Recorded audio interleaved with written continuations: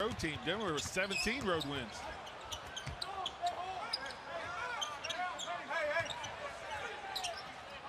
What a pass. Oh!